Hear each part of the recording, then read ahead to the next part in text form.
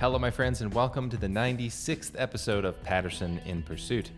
This is going to be a fun one. This week, I'm going to do the most requested interview breakdown yet, which was my conversation with Mr. Thaddeus Russell talking about the postmodern theory of truth. I believe this is episode 80. At the time, we had actually kind of a two part conversation. The first one ended up being about love, which was very interesting. And then the second part was about truth. And in, in this conversation, we kind of referenced the first part. So I highly recommend people go back and listen to both parts one and two. I thought it was a very fascinating conversation. So, my general argument in a nutshell is that humans seem to have some limited access to objective truth. We just kind of become aware of the nature of our experiences. I always like to give the example of the ubiquitous philosophical pin, right? So, uh, really, if I'm being, if I'm speaking honestly, I can say, look, I'm having a certain experience of blackness in my visual field. And that must mean I can say at least one certainly true thing about the entire universe, namely that there is at least the experience of blackness taking place. So even if we disagree about everything else, I can know, I think with certainty, that a black experience exists. And if anybody disagrees with me, I think I'm certain that they're objectively wrong. Now, this is a, a radical claim. It's got big implications if that's true, and it's kind of diametrically opposed to the more postmodern approach to theories of truth. So naturally, we have an excellent conversation. All right, let's dive right in. We're going to start at the beginning where I give a little bit of preface. Um, and then as we go along, I'll kind of offer additional commentary and hindsight um, that you guys might find interesting. Here we go. So this is a, a natural segue. We, we, I'll give a little bit of preface, um, and then we'll dive right into where I think we will disagree. So where we just ended it is by saying that language seems to be unique to every individual, and our conceptual schemes seem to be unique to every individual. That what I mean by the most elementary of things is going to be sometimes slightly different than what you mean, and sometimes radically different. A Great example of this is uh, basic objects. So, like I have a pin here, mm-hmm. and I've done been doing enough philosophy to know that what I actually mean by a pin, what I'm actually referencing, is probably radically different what, from what most people understand by that word in the West. Because I'm actually talking about my experience. I'm talking about the experience of the color blue in my visual field. I just call it a pin. And most people think that I'm talking about some object out there in the world. Okay, so that's the first point, just a little bit of additional commentary. Right, at the time I had a blue pen, now I have a black pen. Um, the point is to say that if you have really, really high standards of skepticism and you're like, man, I just don't know, I might be hallucinating all of reality, I don't know if there's any such thing as a physical world, then we can still speak honestly about objects, right? I can't tell you with certainty that there is three dimensional space and there is an object with such and such property that is located in a three-dimensional space and that's the thing I'm looking at because I don't I don't have access to that knowledge. I can't be certain. I have a theory, maybe there's some three-dimensional space, but I'm not certain of it. But I am certain of the existence of the experience itself. Like I can tell you a true thing. I am experiencing blackness in my visual field right now. So if we're trying to get access to truth, even if it's a, a non-standard truth, not talking about the status of the three-dimensional world, I'm talking about my own experiences, uh, I think it's important to start with what we can know for certain, which is kind of immediately um, the, the content of our experiences, as I like to say. So even something elementary that we, we can have like um, practical discourse about, and we both know what I mean by pen for all you know practical purposes, can be radically different in terms of philosophy. So um, where I think a lot of people who are postmodernists would agree is with this uh, like uh, you, you, and I are probably going to agree that language is very vague, it's very imprecise when we're talking about communicating between two people. My concepts are just not going to be your concepts. And if we can make any philosophic progress, you have to understand how imprecise language is. Would you? Okay, uh, one more thing on this. Um, so I, I, I start this off by saying I actually agree with some of the some postmodern theory of language. It's interesting, actually, in some of my writing, some people have commented that I sound rather postmodern, which is funny because in other areas I'm like the, the complete opposite of postmodern. Um, but where people like objectivists, um, I think, go completely wrong is they don't actually grasp how language works. They think that there are like objective definitions for words. Language doesn't work that way. Um, unfortunately, language doesn't work that way. Things appear much more simple if you think that uh, language correlates to objective definitions. In reality, I think language correlates to the concepts in one's own mind, and that if one is an effective communicator, you can use words in such a way where it elicits concepts in the mind of somebody else that are similar to the concepts in your own mind. But it's uh, maybe never a case of perfect precision that the exact concept you have in your mind is the, the same thing in my mind. Even with things like mathematics, I don't think you can get to perfectly identical identical concepts arising in the mind of two different people just because their mental structures are going to be completely different kind of um, from birth agree it's not the word i use um, right because imprecise um, uh, you know obviously implies that there is something that is more precise which mm-hmm. implies that there is a an external objective standard uh, to which a thing can be closer or, or farther from, hmm. right? How about how about imprecision in terms of like the intent behind the communication? So if I want to imply something by my words and I actually imply something else, like in your mind when you hear the words, couldn't that be a kind of imprecision? Intent. I'm not sure. Mm, that's a weird one. Um, I, it doesn't. I don't think this matter. Well, so how about we just agree that we um, that the difference is is that there simply is a difference, whether it's radical or whether mm. it's about intent or you know, yeah, I agree with you that there is a difference in the way you and I think of that pen. Okay. Now, the first little interjection I want to make here is notice the claim that I'm not sure if this is important. Uh, that that type of claim actually comes out through comes up throughout the interview at interesting times. I'll just say up, up front. I think I've, I've noticed this not just with Thaddeus Russell, but with this is a this is a normal human thing. Um, I have funny examples. Maybe I'll say at some future time of this recently happening. But um, when sometimes when having philosophical conversation, if the person you're talking with kind of hits the nail on the head and is like a direct, immediate refutation of everything that you hold dear. uh, the reaction, the, the normal human psychological reaction is, is to be like, well, I don't know if that's important, or that's an uninteresting question, which is the thing that just happened happened to me recently. It's like uh, this is uh, so. For example, if, um, if let's say we're talking with a religious person, somebody that believes very passionately in one particular interpretation of Scripture, and you know, hypothetically, let's say you have an argument for like. Uh, let's say that the Bible is written by men and it's not written by God.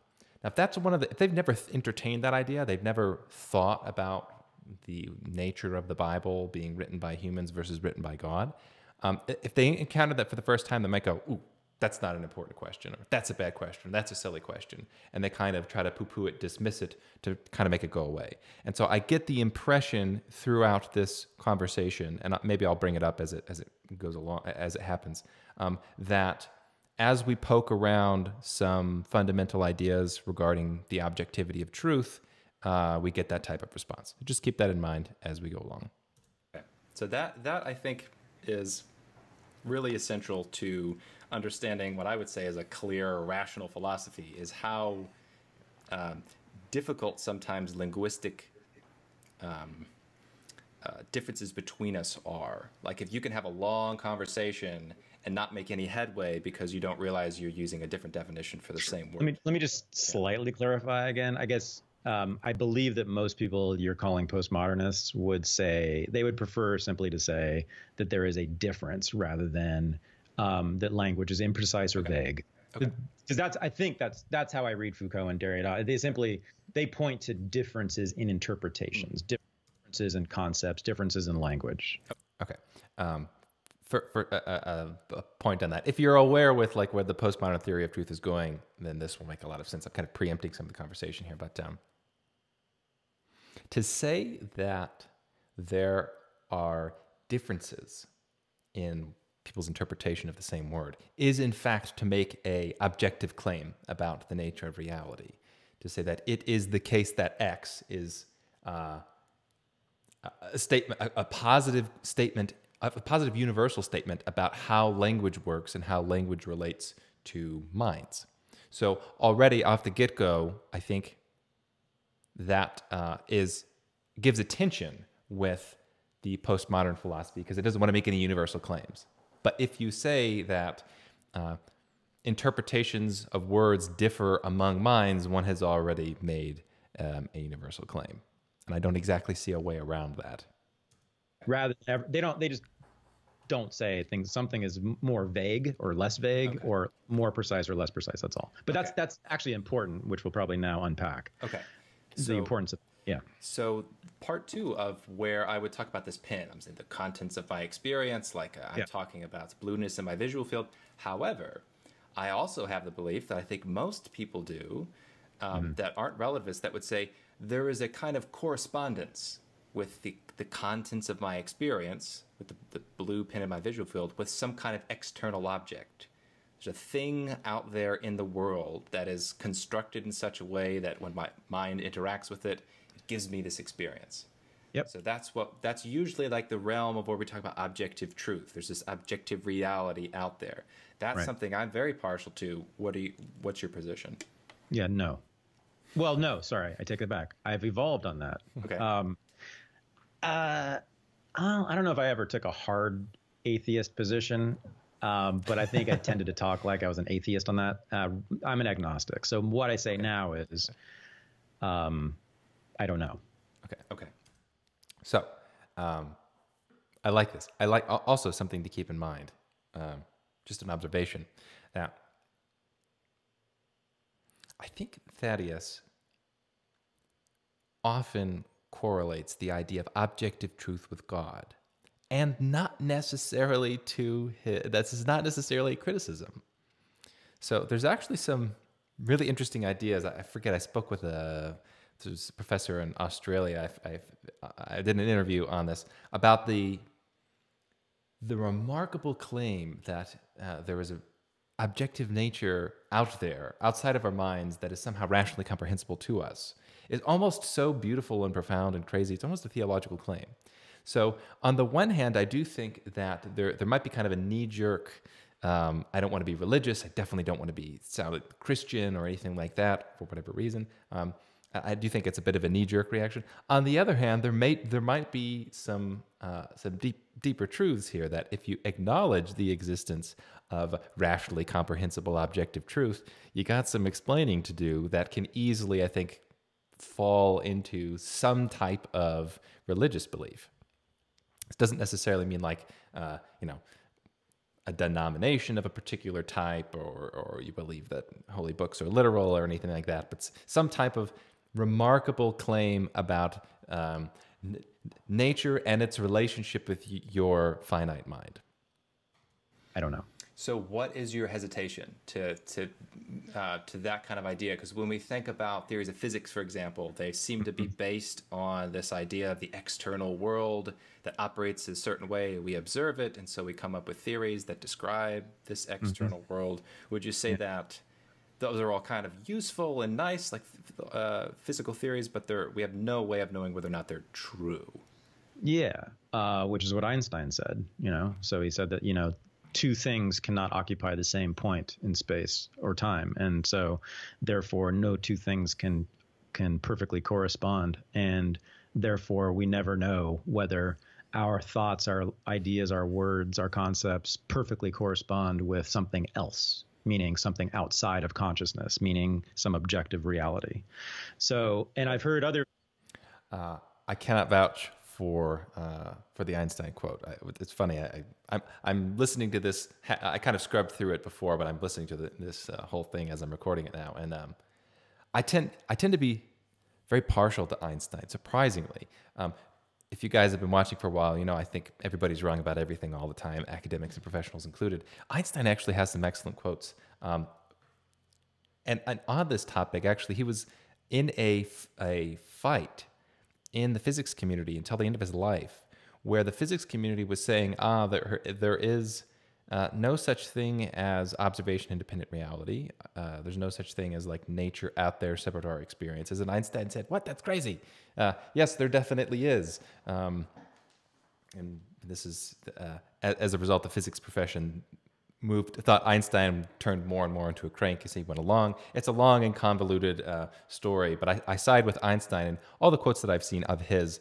Um, uh, are rather good. So I don't know if this one is correct. I don't know if that interpretation is correct. It actually sounds like a quote that you might hear from Niels Bohr, who which kind kind of Einstein's uh, arch nemesis in some respects, but uh, an, an, an interesting anecdote nonetheless. Physicists say the same thing. In fact, recently uh, I heard Lawrence Krauss just say this. In fact, on I think Sam Harris's podcast or something, and he he he said a great thing. I loved it. He said, "Yeah, you know, I." this idea about truth that's not what we do what we do is we disprove things what scientists do is disprove things we never prove anything mm. but but he said i couldn't get out of bed in the morning if i didn't believe in objective truth mm. oh uh, my comment is that I think Lawrence Krauss is a, is a fool. Um, he's just a popularizer uh, of science. He's like he's like a science bro. Um, uh, he's got logical contradictions in his work about nothing is something because he treats uh, empty three-dimensional space as nothing, which is a logical contradiction.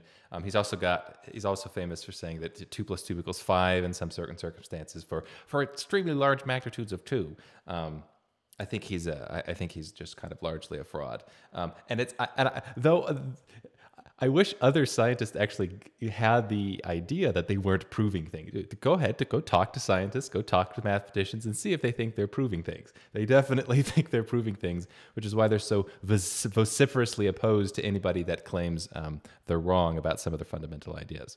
Um, which I thought was a great, really honest, um, I don't know, acknowledgement of a conceit, I suppose, that it's at the base of a lot of scientific inquiry. I don't think it's necessary. I think you can still operate as a scientist without that belief, but um, I do think that has driven a lot of science, what we call scientific work. Mm.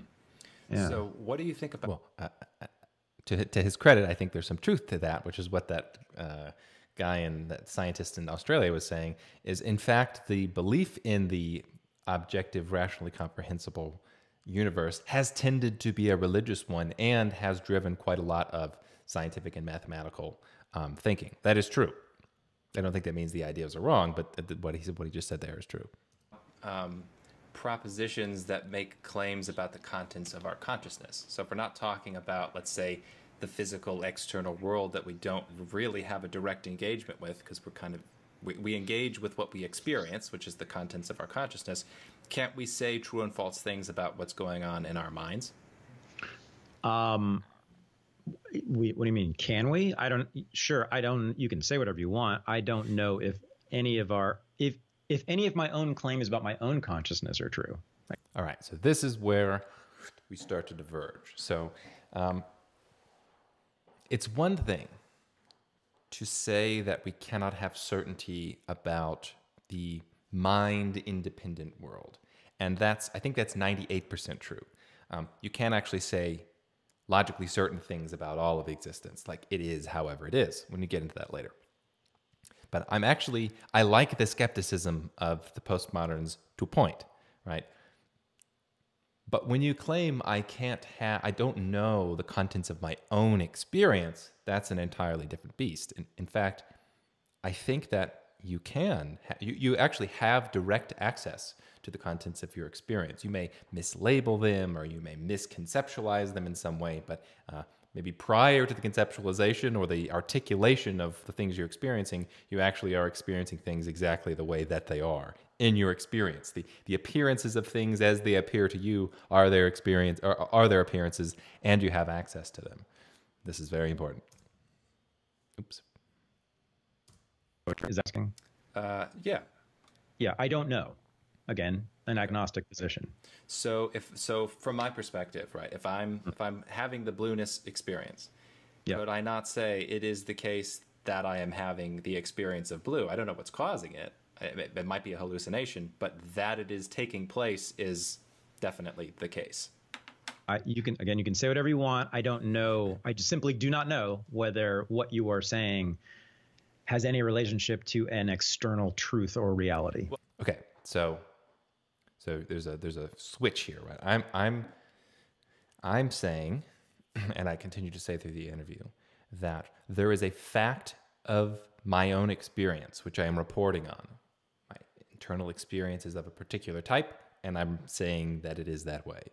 And, he, and I want that that fact to be acknowledged. And then he says, well, I'm not sure if that correlates to some consciousness independent state, but that's not the claim. The claim isn't the consciousness independent state necessarily, at least not at the beginning. The conscious the, the claim is simply is it true that my my I can have access to the real nature of my own experiences? Are they the way that they are? But but it depends on what you mean by external. So Okay. So I, so could you make a claim about kind of your in, and I don't mean to, to can as in like do you have permission to to make these mm-hmm. claims? I mean from your perspective is it possible to make an accurate description, an accurate conceptual description of the phenomena that you are experiencing? It might be. Okay, Sorry, so- I know. no, but, okay, well, but hang Yeah. on. So, so how could I be wrong? So, for, I'll take from my perspective. I know we're two different minds, so we're going to have two different perspectives. But you, you Mm-hmm. can imagine if you were doing this yourself. You know, blueness is taking place in my visual field. How could that possibly be wrong? Blueness is taking place in my visual field. I'm just reporting on my experience. I don't know that it can be wrong.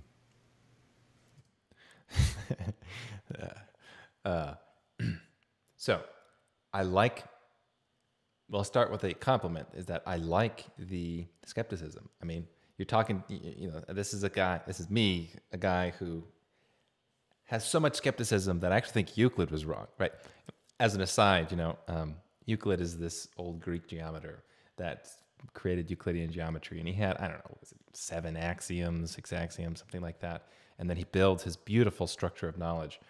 And you know, in hindsight, one of the axioms, the parallel postulate, um, came into doubt over. It took like two thousand years. People were like, you know what, this is definitely um, doubtable, coherently doubtable. So there's one level of skepticism which you doubt the parallel postulate. Then there's my level of skepticism, which is doubting all of the other postulates. They're about like rotation and stuff because I think space is actually discrete. I, I'm the only person I think I've ever met who disagrees with like the first, I don't know, five axioms of Euclidean geometry. So I love the skepticism. But skepticism has to be uh, tempered, right? Skepticism has to, you have to be skeptical of your own skepticism. It has to be an open question whether or not you can have access to certain truth. Um, so to say, I don't know whether or not I can make a mistake about my conceptualizing of my experiences is good, but that shouldn't be where the end of the inquiry is. It's fine not to know. Like I didn't know for a while whether or not there could be logical contradictions, but now I do. And, and this is information you can have you can have access to and, and knowledge about. Like maybe so let's see, where's my where'd my pen go? Here's my black pen. So eh, there's at time one, I might think to myself, well, maybe I'm not experiencing blackness in my visual field. That's fine. But keep thinking about it, keep meditating. Eventually, you'll come, I think, to the conclusion that no, actually, even if I'm confused about how this experience correlates to the external world, even if I'm hallucinating, even if I'm schizophrenic, even if there are no other minds, there is at least the experience of blackness in my visual field right now. This is a kind of certain truth.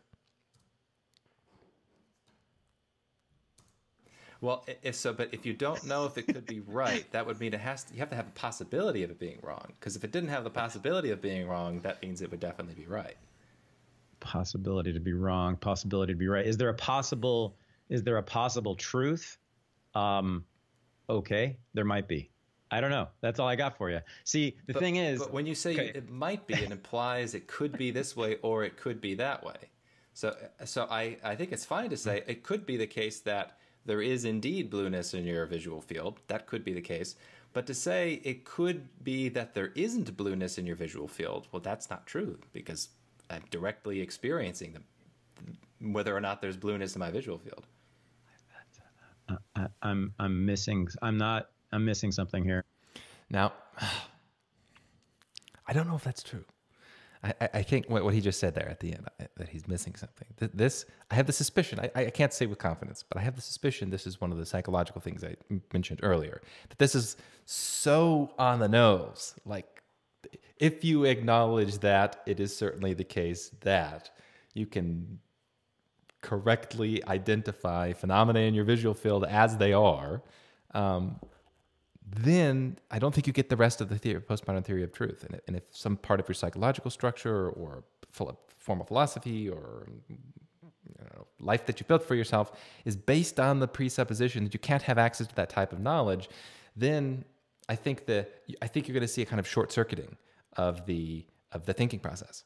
Like accidentally, I don't know if he's doing this intentionally or, or not, but I, I, I get the impression this is a short circuiting. Like how how could it be that one truly does not know whether or not there is an experience of a particular type taking place? Doesn't matter. Like I said, if it's a hallucination, it still is the way that it appears to you, the experience itself. Um, so when someone says there is a God, I say, maybe, I don't know. Mm-hmm. And then when an atheist says there is no God, I say, I don't know, maybe, I don't know. Right. Uh, what? Okay. Also, I think, just a side note, it's interesting that in the abstract, this is a cool thing I think that's going on, is there's there's the the equating of claims ab- about truth in one's experience with the existence of God. We go right back to the religion thing, where it's like, well, if I claim this, then I'm like the person, I'm like the religious person claiming that they know that God exists because of a type of experience. I don't want to be that type of person, therefore, I'm going to say I don't know. What's wrong there? Okay. What am I? So, what am I? What am I admitting? So the difference is that when you're uh-huh. talking about God, you're talking about some external phenomenon. You're like positing some mind-independent entity out there. That's right. I don't I think that's the way to go. But I'm I'm saying I am re- all I'm doing is reporting on the contents of my experience. So I'm not saying there is a God, there isn't a God. I'm saying it is oh. the case that experience is happening a particular way. Oh, oh, does your experience exist? Does your consciousness okay. exist? Okay, that, that would, uh, that's or, that's not what I'm saying, but that's a good question. so, so, so uh-huh. what, how would you answer that? Is, does your consciousness exist? Yeah, I mean, man, I'm totally f- fine answering this, and it doesn't doesn't bother me or challenge me at all. I just think it's not that useful, but whatever. Beep beep, not that useful. Um, yes, I there. Yeah, I guess I'm still an agnostic. Like I don't know. Like it could be this thing that I might consider consciousness is could be something else. It could but, be but it is it is conscious at the very least. Even if it's like halluc- even if you're hallucinating, it still is experiential in nature, right? Oh, oh, I see. So it's consciousness because it's con- because we're conscious. Like well, that's a that's a it, well, self. But, that's a tautology, right? Hmm, hmm, hmm. Uh, so I, I, think something that happens maybe in um, the postmodern philosophy proper, not just um, Thaddeus, uh, Thaddeus's philosophy, but I think what happens is people get trapped up in language. So so they right? There's the, I forget somebody said there. There's nothing. There's no outside text. Uh, the idea is like, oh, if you say consciousness is consciousness, that's just an empty tautology, which is an importing an idea from logical positivism. But never mind that point. Um, tautologies can't tell you anything, and therefore it's just kind of silly. I can't like I can't label my consciousness anything because consciousness is consciousness. A is A. I mean, it doesn't really tell anything. But really, that's I think that's a confusion about language. It's like there is an experience taking place. It doesn't matter the words you put on it. It doesn't even matter if you communicate with anybody. There's something that's happening uh, that uh, I have direct access to. Doesn't matter if it's a hallucination, but it definitely exists. It's definitely going on. If there's anything whatsoever, there is my direct experiences. That is definitely something that is part of the entirety of the universe. But it's, I think people I think people give tautologies a bad rap. There are a few tautologies which I think are, are pretty interesting, but that, this wouldn't be one. This is just a way okay. we use the word consciousness to describe something that's happening. So mm-hmm. it's okay, you can use another word, but when you introspect, you understand English. Most people mean by the English word experience. I, am guessing we have a, a shared uh, experience. I don't know that's the case, but when I introspect, there is perception taking place. There is consciousness, you could call it that, experience that is going on. Or there are colors, for example, that are moving in my visual field, is the way that I describe it. Right. So to prove that there that consciousness exists, you then use words like um, introspection and experience. There's and no, I'm not proving that consciousness exists. Uh, oh. by, by see, see, this is the other thing about language, right? And this is the this is the, this implies this is like an external game, a language game that we're playing between two people. This is not the function of. It doesn't need to be the function of language. Sometimes language can serve that purpose, but not all the time, right? It's not. I am. Here's a theory. Consciousness exists. Here's my proof. Blah blah blah blah blah blah blah. That's not what's going on. It, it, it is a statement of fact. It is the case that experience is taking place. I am reporting it to whomever can listen. Argument. Oh. That's that would be that would be backwards. That would be Yeah, I, the there's I'm saying when you meditate on your experience, like if you're mm-hmm. aware of your experience, is it the case that you can be aware of something taking place? Like there is something. It is not the case that there is only nothing. To which I say it's possible, but I don't know. And to which you say, To which I say, it, when you say it's possible, that implies there's a possibility of being A or a possibility of being B, right? So when you say it's possible, what, whether or not there's consciousness, you're saying it is a possible case that there is no conscious phenomena taking place. Maybe hmm? that's going on. no, you're you're positing the binary, yes or no. I'm not. I'm not positing a binary. I'm just I don't know. Do you think I don't know is not to say that there's an A or B or yes or no. Well, it's what does I don't know mean? so you're positing if someone were to posit A, God exists, or that pen, or your or your consciousness is a thing, is is a true thing. Um, and I say I don't know. That doesn't posit that there are that there are two or only one alternative. What, what does I don't know mean? So would you say I don't Okay. know doesn't mean it could be X, it could be not X? I don't know where you're going. With it. I don't. Oh, there it is again. There's this a little slip. I don't know where you're going with it. This is important. I don't know. Uh, I think it's rather clear, right? The, the when one says "I don't know," how I understand "I don't know" uh, that to mean is it, it could be the case that X is true, and it could not be the case that X is true, or it could be the case that X is not true. I'm not. Um, I'm having a hard time finding this fruitful, or maybe I'm missing something here. Uh, Having a hard time finding it fruitful. Wow, what? This is central. This is it. I, yeah, I don't know. Um, there, it could exist. It could not exist. There could be yet another category. Uh, there could be no categories. I guess is what I want to say. Maybe that's what you're driving at, um, or or that's what you want, Okay. or that's the that's the only real answer to what you're saying. Um, that there are no categories. That's another possibility. But if there, so let's say there are no categories, because I think it, you could might even be able to say that, like you know, you could come up with a coherent worldview. I think that would say there's no categories, but that doesn't mean existence. There's there still is something, right? Even if if you're just purely if uh, awareness, for example, awareness is a word that describes something that is, right? Uh huh. Yeah. Well, okay. So awareness is a word, which, and we attach, we have attached meanings to it. Those meanings are made up of other words, which are defined by other words, which are all part of the same language. If- so it's a, cl- and there, and, and when the same, so it's all circular. It all circulates within the same language. So this, I think, gets to kind of a um, a good and fundamental part of the philosophy of language here that I think can trip a lot of people up. That there's an idea that words come attached to definitions themselves, or like there's, or perhaps I should phrase it this way. This idea that he's articulating about the philosophy of language denies that there is a correspondence between internal meaning and the external word choice. Right? When, when one says, ah, I, I use this word, and then somebody responds, ah, well, the definition of that word is such and such and such and such. That's implying it's like an external thing. Um, if you think that's the only thing that exists, you're trapped in language, right? Because you, you'll find that words are defined by other words, are defined by other words, are defined by other words, are defined by other words, and it's just this big circular mush. That's one philosophy. I think that's wrong.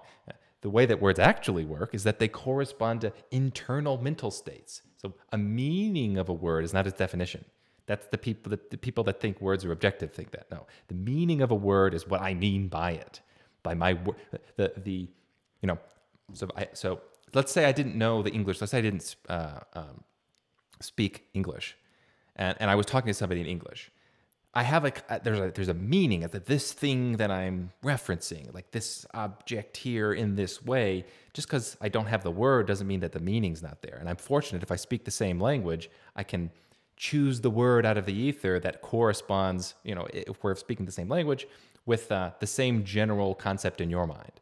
That's how the that's the that's that's the grounding of uh, uh, language into meaning rather than language into other language. structure. This is Derrida and deconstructionism, okay? And nothing, there's nothing outside of that system. But you can't ever show that any one word in that system okay. is closer to something outside of well, it.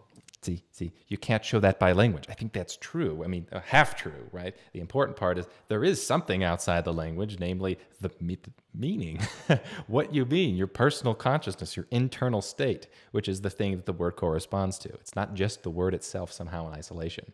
Well, there's there's two things on that.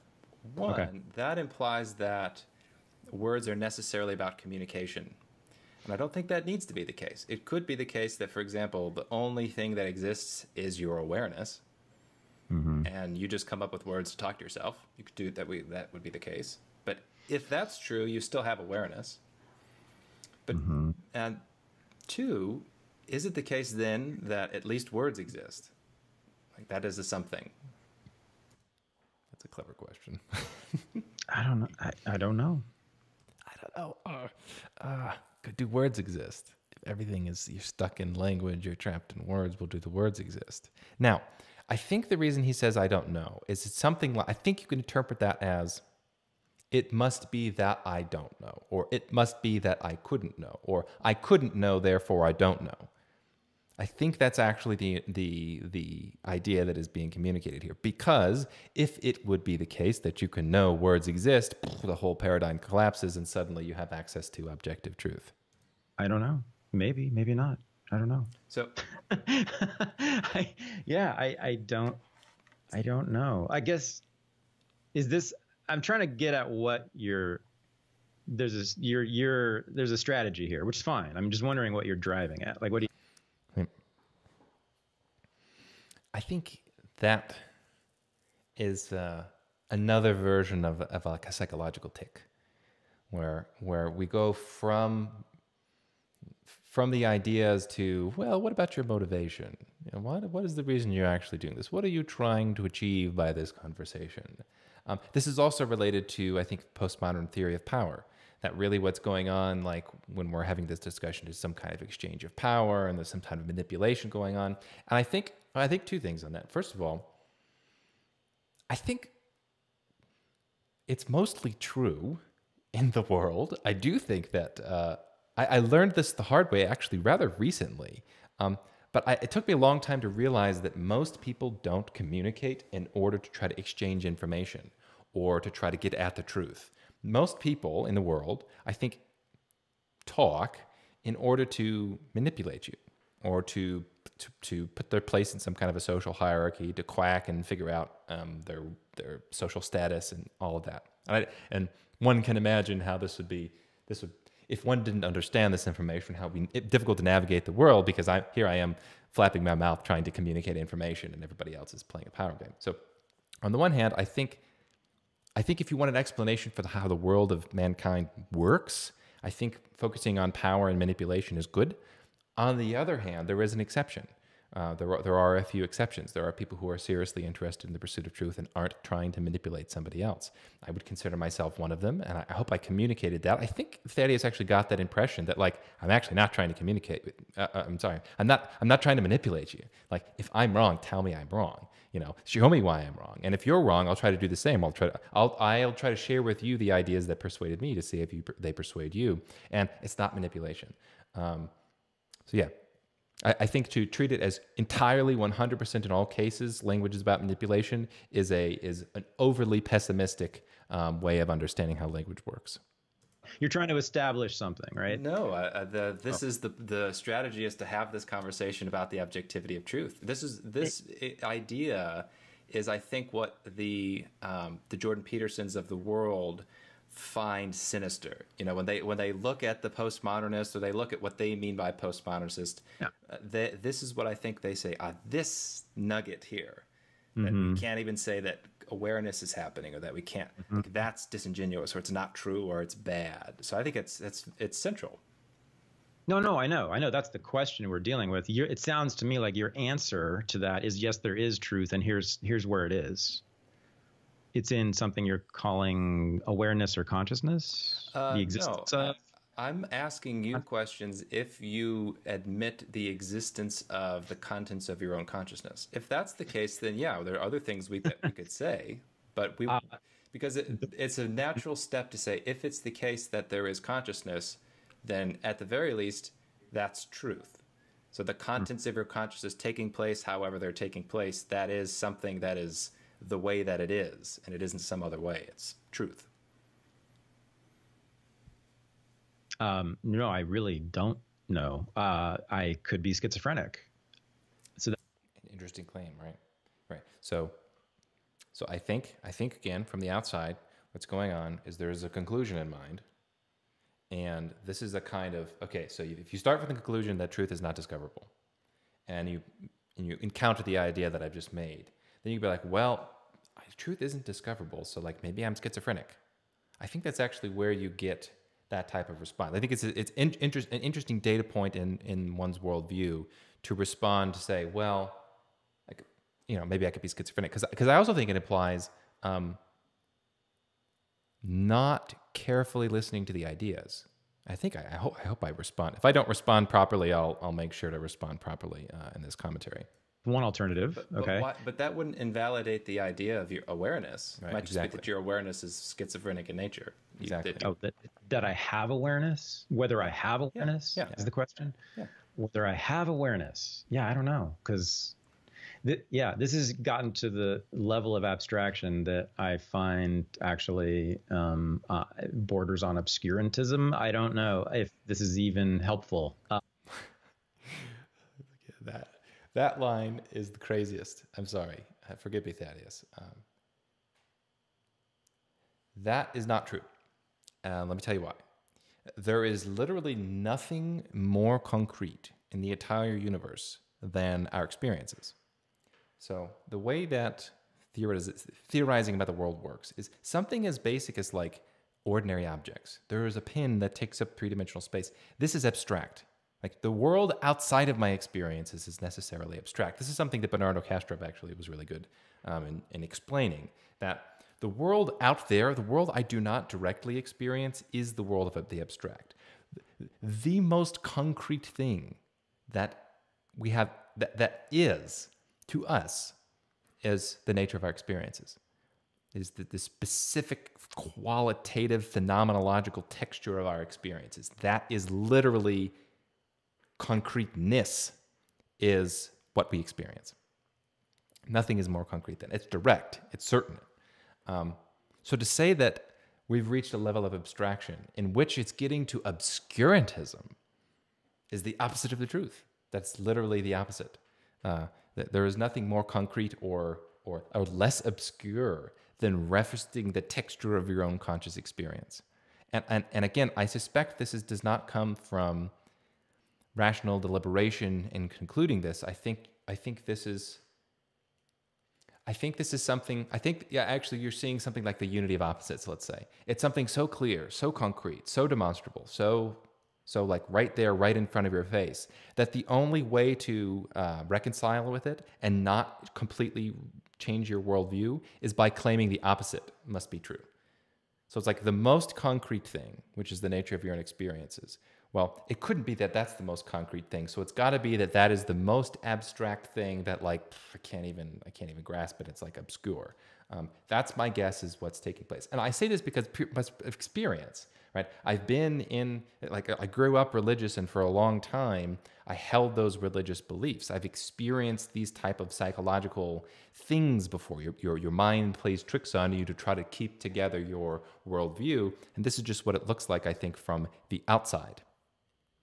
Um, but it is because there's so many people that there's so many people that will take the, uh, these ideas and run with them in either direction because there are people that are going to say I can't really answer that question because it's too abstract and I'm not going to deal with questions of truth.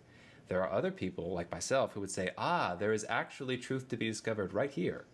This mm-hmm. is where you can discover truth, even if it's obscure or abstract, and then we can build a somewhat of a structure of knowledge based on some things that we can discover about our own awareness. it's funny that I, I, think I was being polite there um, uh, because to, to, say, oh, yes, well, yeah, I think that's actually what's going on is it's like, oh, yes, well, okay, yeah, we'll call it abstract if you want to use that word, but, but keep examining it and see if we can find truth there because the reality is it's not abstract at all. It is You, you could imagine a creature that has no abstraction. What is the, the, the nature of that creature? It's pure perception with no abstraction whatsoever, no ability for pattern recognition, which is an abstract thing. Like the, the living conscious creature, sans abstraction, is the creature that is pure experience and no understanding. Yeah. So my answer was originally and still is I don't know. And so what am I admitting by saying that? Okay. So that's what I was asking you. So when you say I don't know, what I what I, I think most people mean by that is so let's say I, I claim proposition X. Say mm-hmm. X is true, and I ask you, do you think X is true? When people say I don't know, that means it it could be the case that X is true, mm-hmm. or it could mm-hmm. not be the case that X is true, and I don't mm-hmm. have a position. Like I don't. Yep. Is that what you mean? Yep. Okay. So what I'm saying is, if that is the dichotomy, it could be mm. Or it could not be. Then that implies something could not be. So like if I'm talking about consciousness, you're saying, well, whether or not there is awareness is a matter of maybe there is, maybe there isn't, which means maybe it's possible that in some way there isn't awareness. So, so that's what I'm saying. When you say I don't know if there's awareness, you're saying it might be the case that there isn't awareness. Yeah. Yeah. Okay. Um, okay. Yeah. So, right. And again, I don't know. And um, what you can do, I suppose, in answer to this okay, what a postmodernist would do, what Foucault definitely would do, what Derrida would definitely do, is simply trace the genealogy, the history of those words and those concepts that you're using in having this dis- discussion and asking those questions. Thus, people are misled by Foucault and Derrida because this is the wrong question to ask. You say, what is consciousness? To get out the dictionary and to get out the history books and say, let me tell you about the word consciousness, is not to get at the nature of consciousness. Consciousness is the underlying experience, not the word consciousness or the word experience. So, awareness, what does that mean? What has its meaning been? And you can actually trace it. You can show how people have thought about it over the years and how it's changed and where it started. people have thought about it, though. I care well, about, for me, my consciousness or my awareness my mind having access to correct information. And yeah. whether or not it's encoded in a particular language, I don't really care. If I can communicate to anybody else, I don't really care. I just want to know for myself. But if but if it turns out that it's historical, meaning social, meaning created by human beings, this is a confusion about language and the world. So uh, this is interesting. Actually, I, I picked up on this uh, just listening to here. I don't know, think I picked this picked up on this line of reasoning last time. So I think the claim is that oh, this is fascinating. So I think the claim is that what is this is interesting. What is consciousness? Postmodern answer. Consciousness is a word, and a word has history.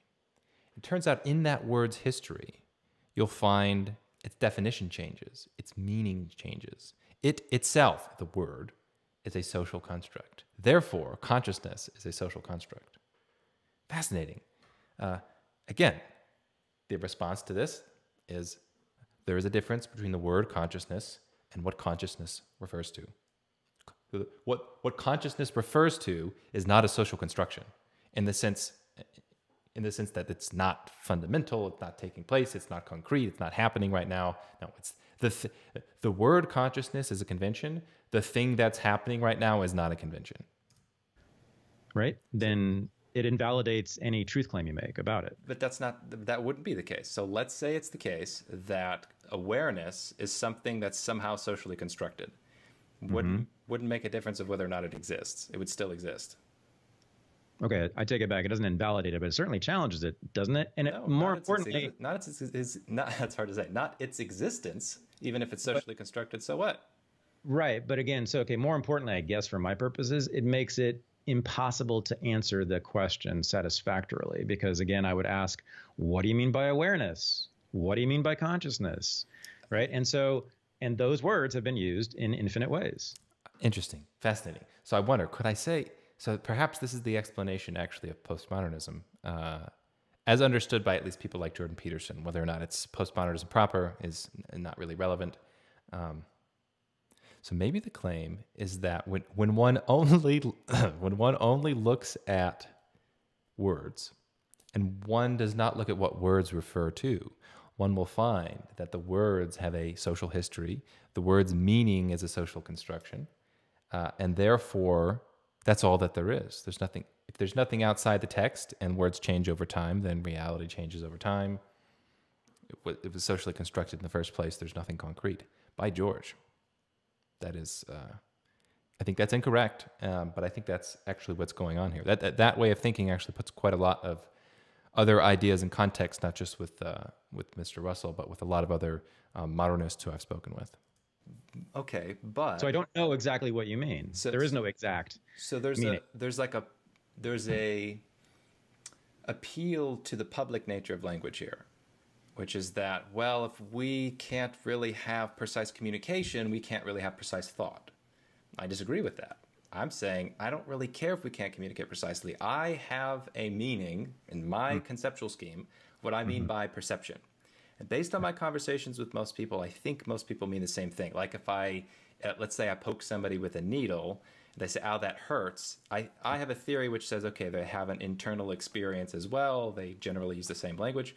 So mm-hmm. that's all I'm doing in this conversation is saying, is it the case that for the individual, you can have some access to truth, the way that things are in the world, simply by being aware that your awareness is happening, mm. that your perception is happening, your consciousness is happening. Even if you can't communicate it to anybody, you can still know that it's taking place. I don't know. I don't know how that advances the ball at all here on the question. I, I Wouldn't it be truth? I mean, gosh, that would be a discovery of truth. That's, again, interesting. I don't know how that would advance the ball. Well, that's that's the, the question. That is the central question. You know, can we have access to objective truth? I don't know. Let's investigate. Is this an example of objective truth? I don't know how that would further the discussion. Well, it's the central point. Could be more No, no. exciting. oh, it, it would if I said yes, that's true, but I don't. I say I don't know. Yeah, but you, you said you don't know why it like why it's important or what it gets at, and that that it's that's like a goal in itself. Wow. truth. Okay. Well, fine. I'm just still an agnostic on it. I don't know. I don't know. I don't know. That's my answer to every question, you know, on this. I don't, I don't know. And so you haven't, you haven't gotten me Okay. any farther. Okay, so so what if so what do you think about this idea? Because this is kind of my pers- my perspective on it, and I want to know your thoughts. Hmm. Um, I think it's the case that there is uh, experience happening. That there that I, when I use the words the contents of my perception, I'm actually talking about things that are so blueness in my visual field actually references something in my mind. Mm-hmm. And the way that I know that is just through being aware of my experience. Like it is the case because there it is. It's hmm. it's, a, it's like a self-evident truth. Mm-hmm. Even if I can't encode it in, in a way that other people understand. This is self-evident truth. Um, and if somebody were to say, as I think you are, that I don't know if self-evident truths exist, essentially, or that if they are self-evident, it's kind of um, it's almost like leading a horse to water, but you can't make him drink. It's like my claim is I'm not trying to persuade you that this is the case. I'm just saying, look, I think you can have an experience, like maybe like the love experience. I think you can have an experience of a nature in which you will also conclude, I must have some access to truth because I am aware that some something blue exists in my visual field. Very, very, very, very, very important. And you know, in listening to this, I think postmodernist actual arch enemy is objectivist, like Ayn Randian objectivist, because I've argued with them about language and probably would sound like I'm arguing for Thaddeus's position here. Um, because I think what Thaddeus is correct in identifying, maybe the postmodernists in general, is that there isn't objective definitions. Therefore, that must have an implication on the accuracy of our communication. But it also misses the philosophical important point that, okay, well, what about truths that are without communication to another? Like, what about tr- truths for myself? I don't care if maybe I'm incapable of using words that perfectly reconstruct the concept in my mind into your mind. Okay, that doesn't mean I personally can't have access to these certain truths myself, which is critically important. Blueness is happening. Yeah. Is this, is this your, your riff on uh, Cartesianism, basically? Like, I think, therefore I am. Is it kind of your version of this? Uh, yeah, I, I guess the, the the necessariness of awareness, sure. That I don't like the Cartesian uh, cogito because it implies I exist, and then you have to try to define what I is. But if you just Okay. say experience is happening, you don't even have to define that. Uh-huh. Uh And if you find this interesting, you can find a, a comparable paragraph in Square One: The Foundations of Knowledge, which is my first book on philosophy. I don't know. I mean, I don't know. It's the onus. So But you every can know. You can know, though. That's what I'm saying. I'm saying you can know. I might not won't- be able to persuade you. No, no, Steve. Steve. Yeah. Here's the thing. You want me to know. no, no, no, no. I, Why are you? See what a, what a turn, right? This is such an interesting turn that this happens. This is not unique to, to Thaddeus, where now suddenly it's not about the ideas. Now it's about my motivation. Now it's about the, now it's about the power, the power relationship. Okay, anecdotal story. I probably have said this before, but it just popped in my mind. So uh, many years ago, I was in Washington D.C. for a I did a a, a semester long program in D.C. I, my alma mater was in upstate New York, and they sent me to D.C. Um, it was like a the idea is you get an, an internship somewhere in DC and then you go to this these classes at American University. My internship was with, Ron Paul, which was pretty amazing. I was a lucky kid. Um, and the uh, the semester of curriculum at American University was a total joke. It was just ridiculous. Um, one of the professors, I forget her name now. Um, she was a huge fan of Foucault, and she was from somewhere in New Jersey. And I'll never forget. Um, she was always talking about the power structures. We would talk, we talk about anything whatsoever. We talk about how frogs hop and like the mechanics of waves on the ocean. Let me tell you about the power structures of the entities involved. And so whenever I hear, you know, people people t- turn conversations to questions of motivation and power, I always think of this lady from New Jersey talking about the power structures. And That's just a silly aside. Why are you bothering with this? Love. Otherwise, love my yeah. friend. See, that's it. That's what I'm it. No, for real. I know. That's that's it. No, totally. I agree with you It on is. that. It Uh, is. It is. Okay, so so uh, if that doesn't make sense, then you guys need to listen to our earlier conversation. There's actually a rather profound point here, though, which is that uh, for me personally, I do think it's an it is an act of love to try to discover truth with people. So for me, like I am on the pursuit of truth. It's just burned into my being, and there is a limited amount of people out there who are also pursuing truth explicitly. But I think most people, even uh, even if they don't know it consciously, have an im- implicit pursuit of truth. To, to, so to share philosophy and to share ideas that I find persuasive, really the secret is it is actually an act of love. Like it is my way of showing love to Thaddeus Russell that, hey, look, I think I found truth. And as a fellow human, I think you should hear these arguments because you might be persuaded by them as well. And once you walk down the path of discovering truth, it leads to other other, other big things that are uh, that are really important. So you got me. I I do have I think an underlying motivation, which is to show love through uh, the pursuit of truth. It is a kind of human peership that I've discovered something which I found exciting, which is that Yeah. I do have access to some kind of limited set of truths about the contents of my consciousness. and love so I am I'm freely sharing it with you. I love it. Okay. Here's your problem, my friend. Okay. I th- you know, so you're the apple hasn't fallen too far from the tree. It turns out, I, which is that you know, um, when the missionary went to Peru and stood in the jungle looking at the Indians there and said, "God is real," and they said, "No, he's not." It, our God is real yeah. then they're engaged, right? They're locked in this struggle between this and that. There's this binary opposition going on, which becomes co-constitutive, right? They can they constitute each other. We are good, which is the opposite of them, and we right. And then it's a fight, and they're both trying to win over the other, and they're both really worried. And they both are concerned about the other. I don't care if the if the Indians had said, "I don't know if your God exists," right? then then it's just up to the missionary whether he uh, pulls out the guns, right? All right, so I'm going to theorize here. I'm going to say this is Thaddeus's revealing his attempt at love. So I think this is really interesting that rather than saying, I have access to objective truth, one pretends not to have access to objective truth or puts oneself in a state of confusion and agnosticism, perhaps for the goal of peace because he sees what has happened when two people claim to have objective truth, they fight and they kill each other. He's he's deemed that bad, and so perhaps this is part of the motivation. Is like, a look, maybe if we just get rid of this whole truth thing, just eject it out the window, maybe we'll all be more loving and more kind, and there will be less fighting. So um, I think that's rather sweet.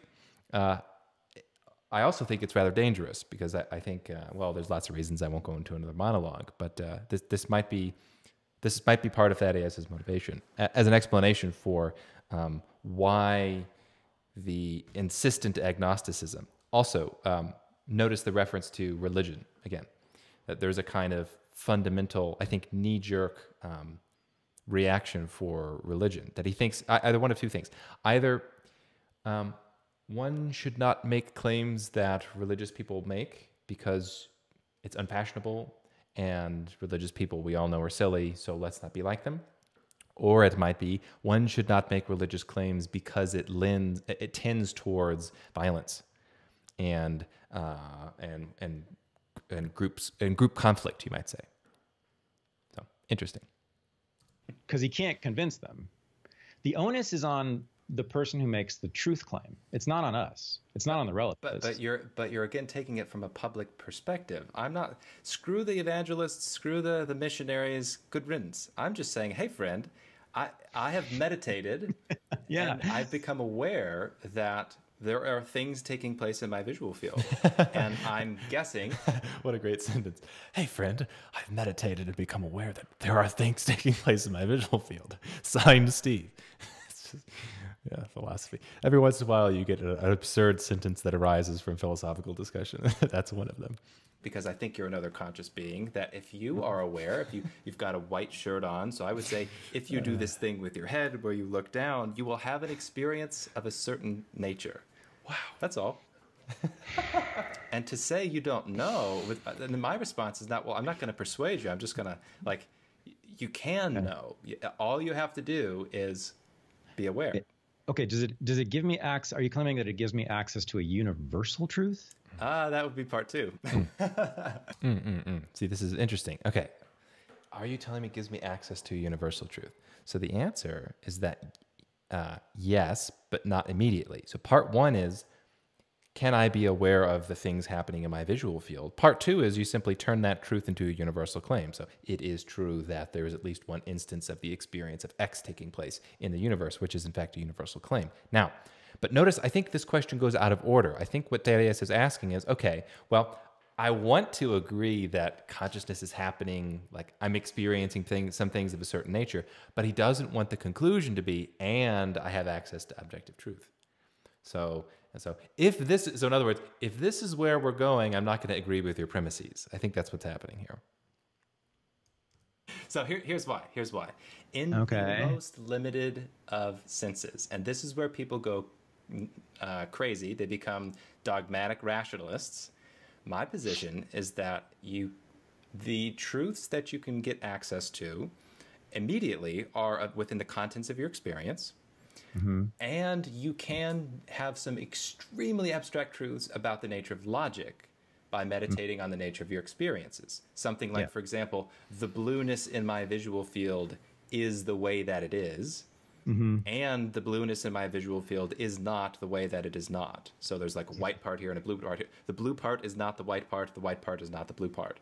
Now, mm-hmm. that actually gets at a very abstract principle of logic the idea of identity and non contradiction. Things are the way they are, and they aren't mm-hmm. the way they aren't. So, in right. that sense, I do consider that kind of universal. That's true for everything. It is the way it is, and it isn't the way it isn't. Not it doesn't get you particularly far. It doesn't get you a religion, mm-hmm. but I do think that is something that is universal. Mm-hmm. Mm, see, so this is also why I think those. In fact, I, I knew a lady back in the day who uh, very much didn't like the idea of objective truth and its implications, and so in the reasoning process, there was a there was a worry about any line of reasoning which would result in that particular conclusion. Um, you know, I think that I can. I think that's what's happening here, and and it would be it would be interesting to maybe even to watch this for myself um, from the standpoint of thinking that perhaps perhaps it's it's an ethical objection to the notion of the existence of objective truth because the existence of objective truth implies uh, eventual group conflict, and that, and that might be true. Okay. So what um what is your um act of love offering me? Like what am, what will I get from this if I if I were to believe you? Agree with you. Uh, I think that you would get a a new belief in the existence of some very limited form of truth. Right. I just it's just popping in my head, right? It's hard. I, I don't know. So it's hard for me not to feel like this is di- disingenuous method of reasoning. To have one say, well, what, where are we going? What am I going to get from this? What is the value I gain from this? Um, on the one hand, maybe it's good to have that perspective, like going into a conversation, hey, what am I going to gain from this? On the other hand, uh, it doesn't feel genuine.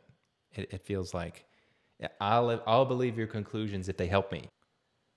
All right, so I'm going to skip ahead just a little bit. We had a, a few minutes diversion of just, again, going back to my motivation um, and why I, why I want to have this conversation, what I'm trying to get out of it. Is that the case that, that that there is at least some acknowledgement or like, okay, yes, you can't, uh, you you don't have to take a religion, but consciousness is happening however it is happening. Oh, I didn't acknowledge it. I was just saying that's what you're okay. that's what you're asking You got for. my No, hopes that- up. Okay. No, you're that's what you're asking for, and I'm not. And I'm Uh, no, I'm not asking for anything. I want to know your thoughts. And You- if, if I'm wrong, I want to know if I'm wrong and why I'm wrong. That's all. Yeah, and I, I I've said this for how long? An hour now, hour and a half. You know, I don't know. I don't know. Um, it could be something else. It could be none of the above. I don't. but I'm but mostly I just don't know what on earth I'm going to get from it. Like, um, so okay, if if I were to accept that as a truth Yeah. that I have what you call awareness, okay, consciousness, um, what particular doors does that open? Interesting question, right? Right. It, it does not communicate this sincere pursuit of truth, if there is one, right? Now, to say, are you pursuing truth? Maybe does, does that presuppose truth exists? Well, not necessarily, right? Are you pursuing honestly whether or not truth might exist, right? And and uh, to say, well, what do I get from it, just does not communicate um, sincerity. Well, for one, uh, you're going to have to go back on the Joe Rogan show and you're going to say, dude, I was converted. There's this guy. I'm now a card carrying truth seeker. Oh, that's what this is about, Steve. You want to get on the Rogan show? Okay. That's what it is. No. So, uh, honestly, and I, I say from the ethical nihilist standpoint, I'm not pitching anything. I don't really. So, f- from my perspective, because it really was uh, nihilism, when you say, what do I get from it? I think, I don't care. You get whatever you get from it. You adjust your worldview however you need to adjust your worldview. No, but you want. Uh, hello, you do want me to think that way, don't you? You you are trying to convince me of this, aren't you? Uh, to be You do care. If it were the case that I were You wrong, said you said it was love. You said it was love. Well, love. so so here's what or- the love is. The love Okay. is me trying to discover truth myself, and if I discover it, to try to share it with people who care. So if I'm wrong about this, no, I don't want to convince you. I want you to convince me. I want to be in your. I, I want to be. I want to discover that maybe it's all wrong. If it's all wrong, So, isn't it interesting? I think there's a a identification here, thinking that, or perhaps pattern recognition that just like the evangelicals believe that they have truth and want to convert others, if one believes that you have truth of any sort and wish to convert others and talk to them about it, you're trying to convert them to a religion, essentially. I think that's I think that's again the kind of knee jerk. Let's not do anything that could be remotely constructed as um, religious, which makes me wonder. Which makes me wonder. Maybe I've seen this before. I've seen this before uh, with people that really, really try to insist they aren't something that they are. It's like uh, it's like you know sometimes the most passionate and enthusiastic and like like a- anti-homosexual people are like closet gays. I wonder if Thaddeus here is religious. Or, or, or I wonder if the intensity of the passion of the denial corresponds to um, being seduced by the allures of religion. And if that's the case, that's okay. Uh, if you're watching Thaddeus, I accept you. It's okay. It's okay. It's okay to feel have to have those feelings. uh, but but for real, because um, I don't think this level of rejecting anything that could remotely give the appearance of religion is normal. I think it points to some to something else, and it's cool. Like like something I found in my own personal journey. Like when I so I was I was raised evangelical and fell away from that. And then this is kind of the normal story, right? Then, then uh, thought all religious people were stupid, wanted nothing to do with it because it seemed anti-intellectual. Kind of devoted my life to to the use of reason, and then then had experiences where I kind of came back around to some religious conclusions. Love is so profound to me that it, I have some kind of at least implicit religion built around um, the importance, the transcendentalness, the divinity, if you want to use those words, of love. Um, so, so I wonder if, like, under the surface, uh, Thaddeus sees some of that and maybe wants some of that and is like secretly persuaded by some of that, but uh, but is maybe in, in the closet about it. I don't know. It's an interesting theory.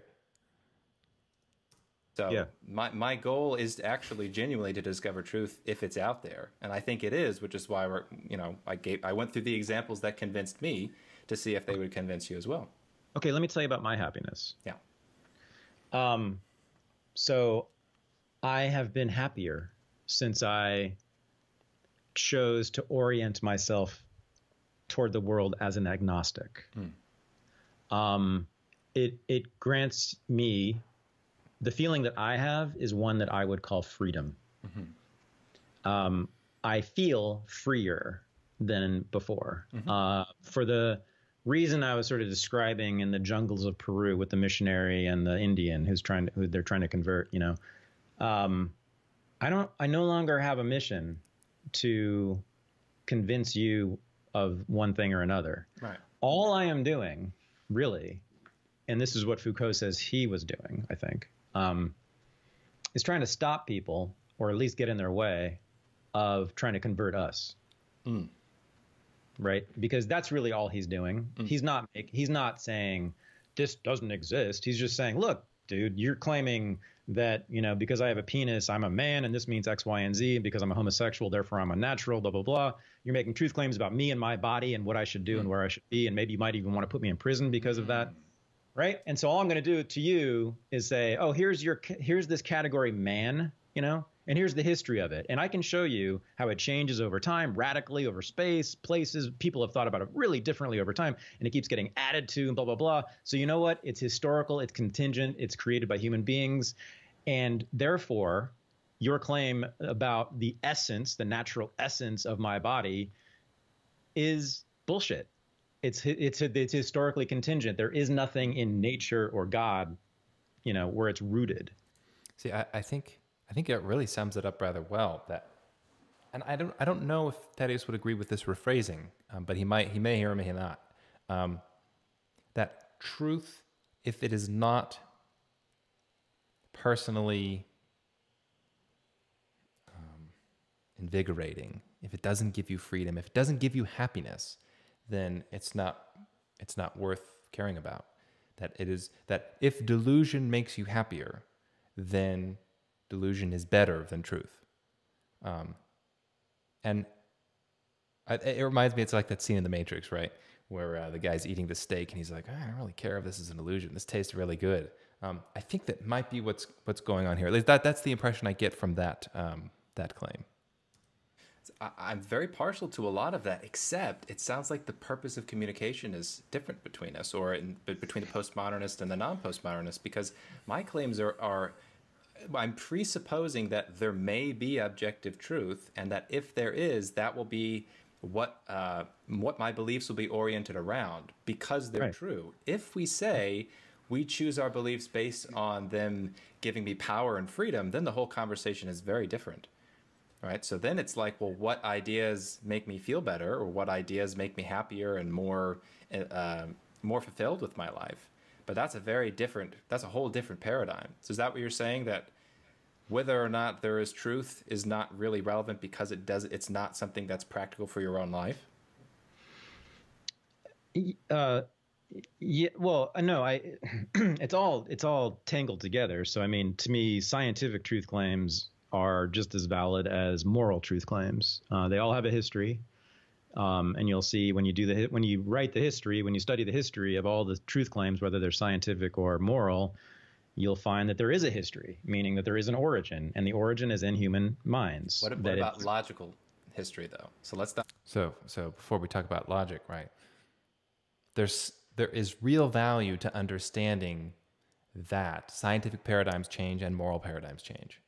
Um, I think it's really most people don't understand that. I think Thaddeus does understand that, but, but I think he's taken too far. Scientific paradigms change, therefore there's no truth, because claims about the objective nature of reality have changed, and people have been wrong. It means there's no way to be right. What one will notice, if you think about it, is uh, uh, the existence, well, I guess logical truths are not something that ha- have ever changed, nor could they ever change, right? The, the fact of things being the way that they are, to the extent people were conscious, the contents of their consciousness, these are these are truths. These are not. It, it, I'll put it this way: it is not the case that a thousand years from now people will look back on what's happening and be able to correctly conclude that awareness and experience as I'm experiencing it right now didn't exist. Right? That is a that is a, a kind of a universal claim about the state of our, our present universe is that awareness and experience definitely exist. It ain't a scientific paradigm, it's not a moral paradigm, it's a factual metaphysical claim. I, I'm on, I mean I'm a radical I got a radical mm-hmm. worldview, but mm-hmm. there are logical truths dating back, you know, we're talking pre pre Aristotle about the law of identity and non contradiction that really haven't changed.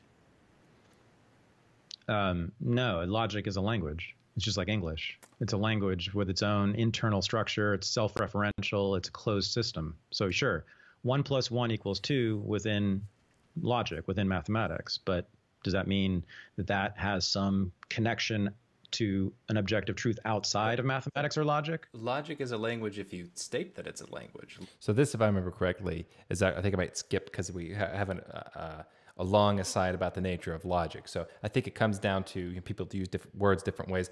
The truths that logical discussion point at are universal and have been written about, uh, unchanging since pre-Aristotle the law, namely the law of identity and non-contradiction. Things are the way that they are, and they are not the way that they are not. This is not something that gets revised every few centuries as the scientific paradigm changes or the moral paradigm changes. It's a kind of universal one. But I'm going to skip ahead so we don't just uh, rehash some linguistic uh, disagreement.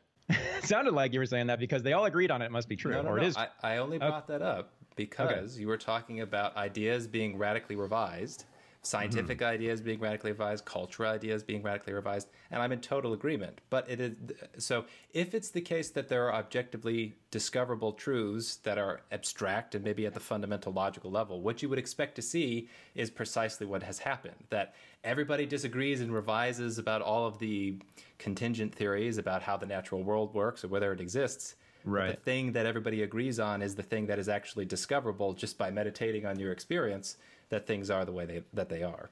Oh, it's the introspection that gets us to the truth. Uh, if it's the case, uh, well, yes, of course. So, for those who don't know, uh, to say, "Oh, it's the introspection that gets us to the truth," is another uh, only anti-religious claim. Um, that's all that it serves. So there's there's this idea because it's not just religion, but it depends on how you might categorize religion. There's this idea that oh, in religions there's you know introspection and you know, revelation. That these are kind of uh, non-sophisticated ways of understanding the truth, and and my response is the only way to understand truth is by introspection or meditating on the meaning of things and meditating on your own experience. Um, so that's just another thing of oh, so it's introspection or it's revelation or we're gonna it's it's one of these words that's associated with religion. If it's the case that the truth is that there's experience taking place, then you have to introspect in order to understand that experience is taking place. So you're a Platonist in this way. Uh, I, I, if I don't think so, I mean, I don't, I don't exactly know how that category well, would apply. But. Well, that's how that's how he arrived at the truth, right? Was by thinking about you know, just thinking. That's what he was about. And rather than Aristotle, who was like, no, go out into the world and study stuff and observe things and measure. I, I don't think that would be a fair position to summarize. Uh, I mean, maybe you could call it Platonism. I don't. I don't get that. I mean, I, am not a Platonist. I'm like a definitely not a Platonist in my metaphor. So, from my understanding of Plato and Aristotle, uh, Plato and Aristotle, you know, Aristotle would not have disagreed that some truths are available to one upon introspection, as namely the the laws of logic, identity, uh, non-contradiction, and he said the excluded middle. Um, yeah. Physics, but to the extent that Aristotle and Plato covered the law of identity, they agree that things are the way that they are. And, and uh, in, um, I forget the, there's a Muslim philosopher, early, early philosopher, who, who was talking about the law of identity. And he said, anybody that claims um, that there's not, that contradictions are possible should mm-hmm. be beaten and burned and to mm-hmm. the point until they admit that to be beaten and burned is not the same as to not be beaten and burned. Right. In other words, yeah. that contradictions aren't possible. No, no, no. I was getting at um, Patterson's pursuit, like what it is, and what am I right that it is? It presupposes um, that introspection, looking inward, thinking inward, uh, is the is the general direction toward which truth will be uh, ascertained. I don't like the term introspection because it, it, it, it, comes with a bunch of philosophical baggage. I would say that there is some truth you could. Uh, and also, uh, to say inward implies a metaphysics of inward and outward, right?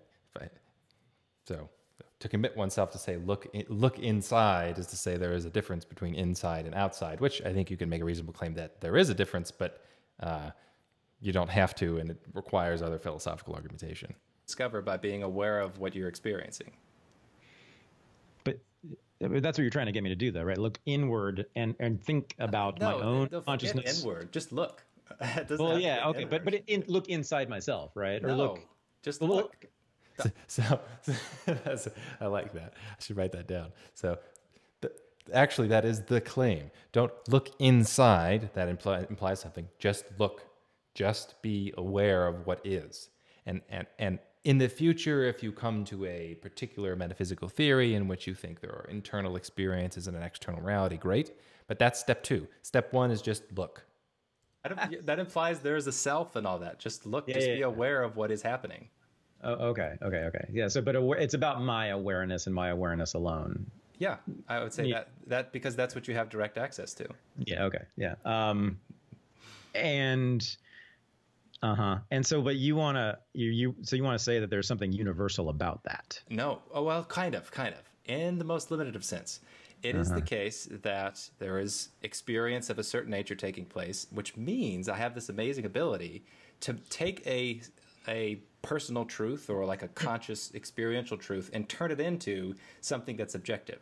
So I can say something, well, of all the things that exist in the world, at least one experience of blue right. is taking place.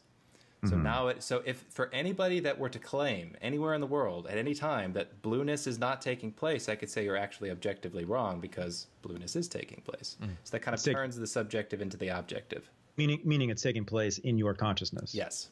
Yeah, yeah. So you can't, right? Well, okay. and taking place in my consciousness, and my consciousness is something that exists. So if somebody's making a claim about things that exist in the world, at least my consciousness exists in the world. Oh, oh, well, this that sounds right there like you and I might actually be converging. Maybe I don't think we really are, but at least at least that sentence or couple of sentences right there taken in isolation converge with my own thinking. So so I think if I if I could speak for Thaddeus, I think the idea that okay, we are all having our own individual experiences he likes, but he doesn't like part 2.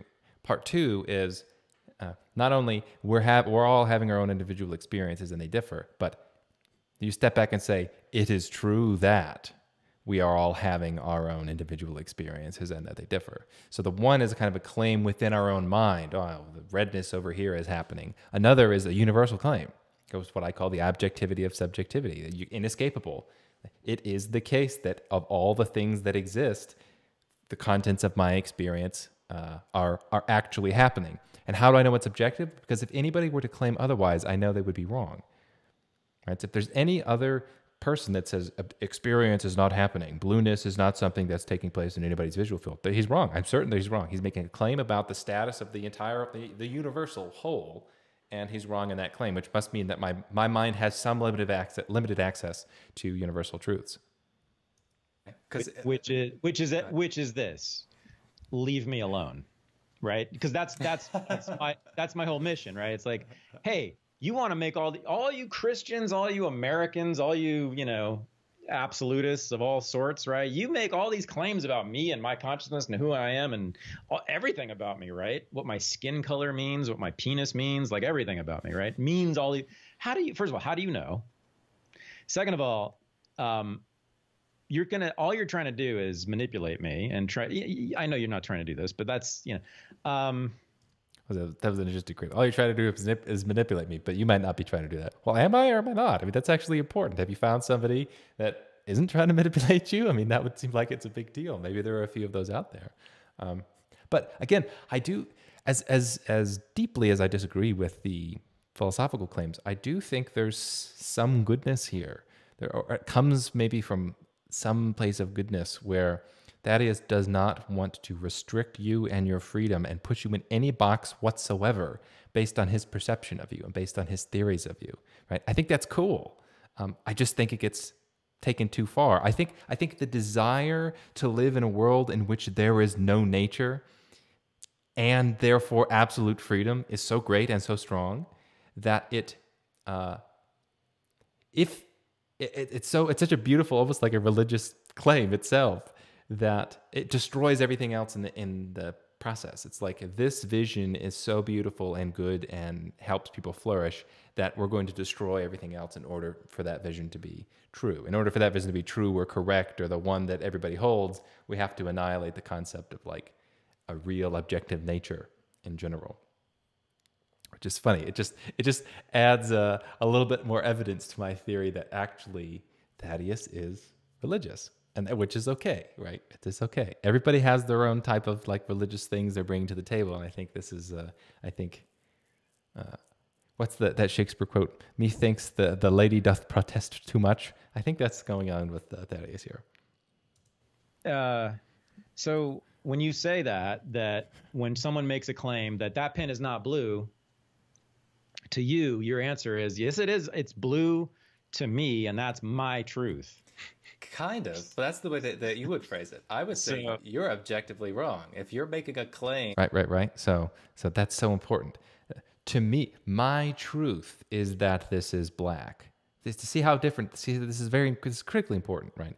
It's one thing to say my truth is that it's black, and your truth is that it's blue right? The objectivist, the, the Randian objectivist says, it is the case that it is black. No, no, that's silly.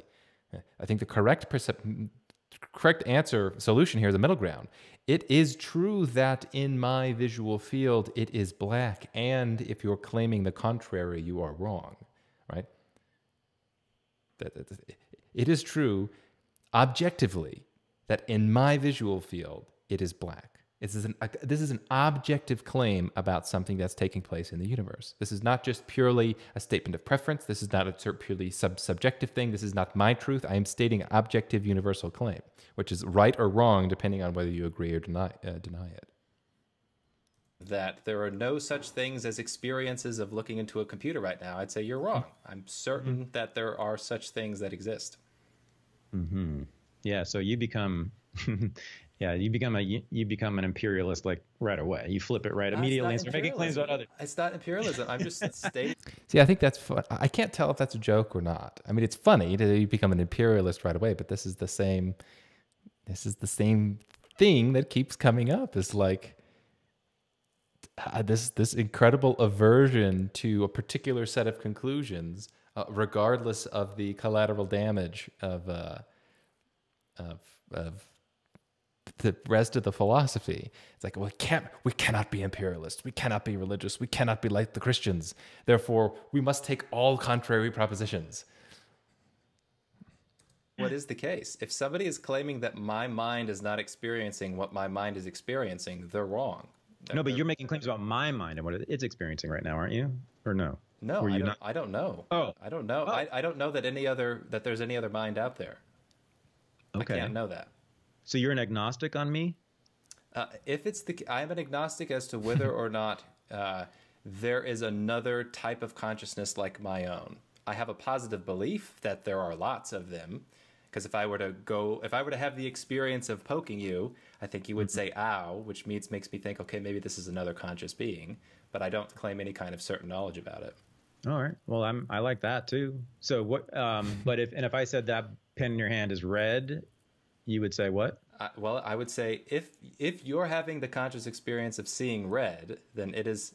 If we speak the same language, we're having different conscious experiences.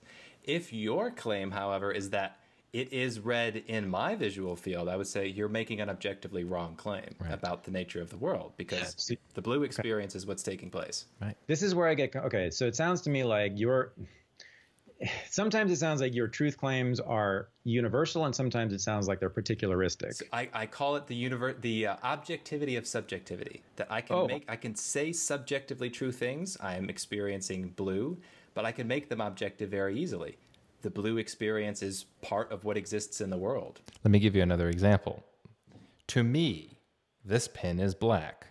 Thaddeus would probably like that claim. To me, this is pen's black. Now, you can interpret that through the subjectivist lens or the non-subjectivist lens. You can interpret the claim this to me this pen is black as some relativistic claim. You can also take the exact same words and make them objectively in- uh, true and universal.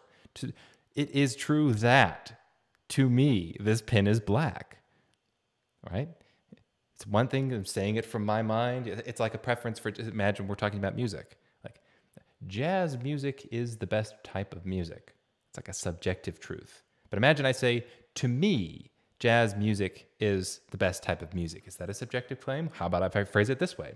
In the universe, there is at least one mind which evaluates jazz music as the best type of music. That is a universal claim that I have direct access to. Jazz is, by the way, not the best type of music. And maybe the Oh. only part, I don't know. because you okay because you perceive it that way because you yeah right And we're talking Oh. about my perception. yeah so if you leave it at that we're good we're good i think i, I just sounded many times like you weren't leaving it at that and i got really, really nervous but uh yeah no sure I, I don't i just wouldn't i wouldn't use terms like objective and truth So what, Uh, what if that- I were to say Thad is not having the experience of looking into a computer right now? oh um i would say uh well you know i don't know and I would just See, see, see, I think, I think again, what he, he asked himself, what would I say? I think the word choice of I don't know is like it, it's almost eh, really this is this is crazy. This is the same thing that happens when talking with um, evangelicals. I had many, many, many, many, many, many hours talking with evangelicals, arguing with them, and their answer to some philosophical questions is is almost as if they read off a script. It's like, oh, I guess I believe this, and well, what about why? Well, I guess in order to be consistent with everything else that I believe, I must believe why. And, and it's not it's not serious. It's it's like I guess this I guess this is what I would say in order to keep the whole thing together. You don't know whether or not you're having the experience of looking into a computer screen. And I mean, that's so- what I think that uh, you Yeah. can know though. But imagine you were actually having that experience that you described that way. Somebody can be wrong about that. no i can prove that i don't know i don't know how you can prove any of this stuff You don't Like, have to prove it. You just know it. It's like it's I- that's just religious belief you it's, christian it's not really. ding ding ding. Right? That's what it is. That's there there it is in a nutshell. If what you say is true that the mind has access to objective and universal truth then that is a religious claim you christian. And and really really uh, that is not the most ridiculous thing to say okay? Because I, it, there is something deeply deeply deeply profound about believing that one has access to universal truth. And i think inescapably the mind does have access to universal truth.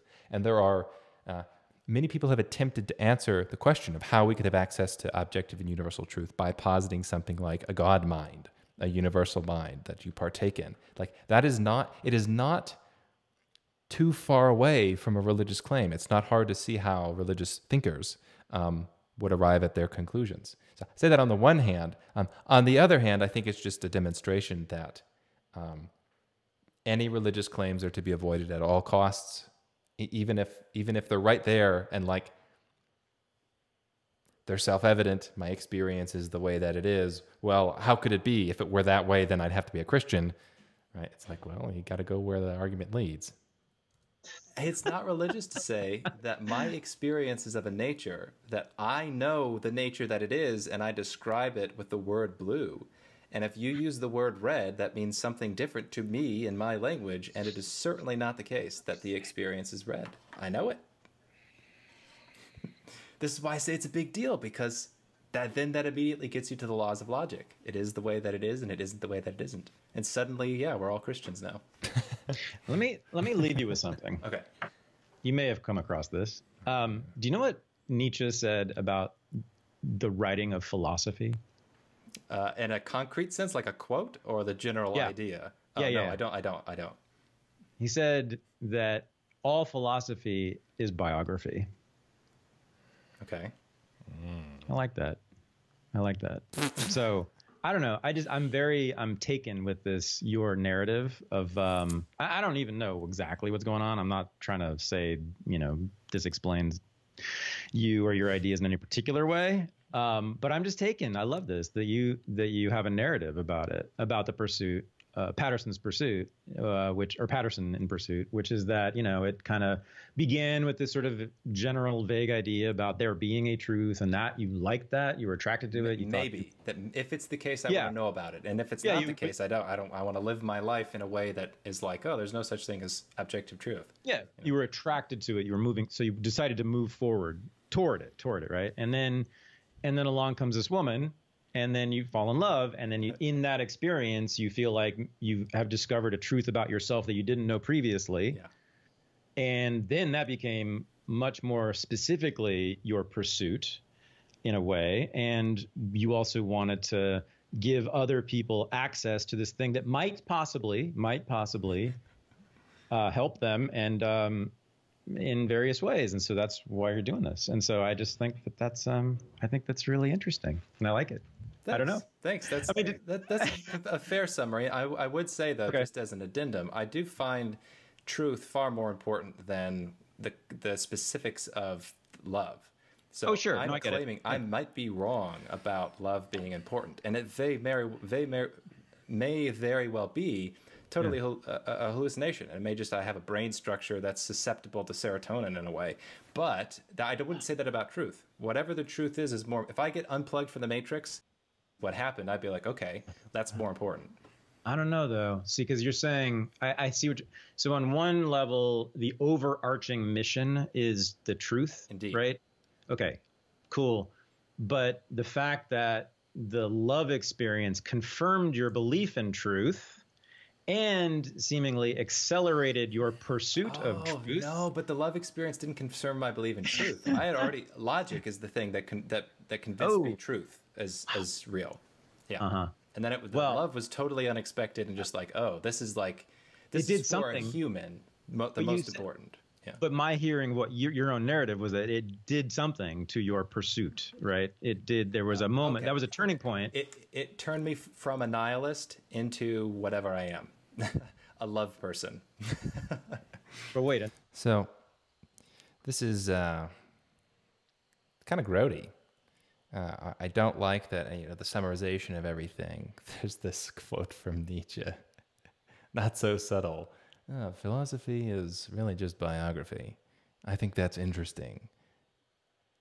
Okay, so I, I think the the message there is eh, you're just playing a game. All this is just kind of an exercise in vanity, and yeah, you had this love experience. And I, never communicated this, but he seems to think that my belief in truth has something to do with my experience of love. That's certainly not the case. Absolutely not. Uh, my belief in truth is completely separate of my experience of love and my belief in love. I might be mistaken about the existence of love and its profundity. I'm not ex- mistaken about the existence of truth um, for the reasons that I laid out in this. So I find it very uh, condescending, frankly, condescending, and uh, to kind of pat one on the head and, and say, "Well, I'm not going to actually engage with your arguments, but I'll kind of distantly mock them and and see what's going on as you're just on this pursuit as a as a young child." And uh, that's an interesting fact. Not a fan. Alice does not believe in truth, right? Right. So I say an ethical nihilist. An ethical nihilist thinks that there that truth uh, that uh, there is no such thing as like objectively true morality, or that statements about morality don't really have meaning to them. Or technically, I might be an emotivist, uh, an emotivist, which is like they're statements of preference. I think that is the case. Except now I had this love experience. Is like okay, this is actually meaningful. Here's here's the meaning this is what human life can be oriented around at least my human life and so that's why mm-hmm. it changed me. Yeah okay. Yeah and and when i asked you why are you doing this right now talking to me this way? you said one word love. Love yeah, yeah well i mean all right. So i, I think um, it's a it's a, it's a two-pronged approach. For the intellectuals yeah. who just want to know about truth great i'm happy to share it but for yeah. those those crazy people that will follow these conclusions wherever they lead, well, they might have a love experience. In which case, I you know, I would feel pretty good about that. I just want you to think about that biography, philosophy, and also one last thing. Yeah. Um, you know, for Foucault,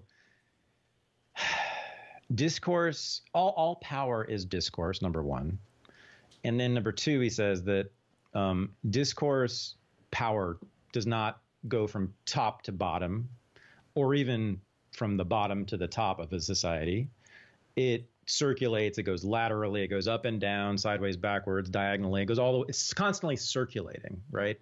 So that ideas, discourse, concepts, categories, words, claims, truth claims, the color blue, the idea of the color blue, the idea of pens, the idea of Steve, of Thad, of all these, they're circulating. They have no they have no origin, right? There's no you can't sort of you can't identify a, a an origin, a genesis moment to be more um, apt here.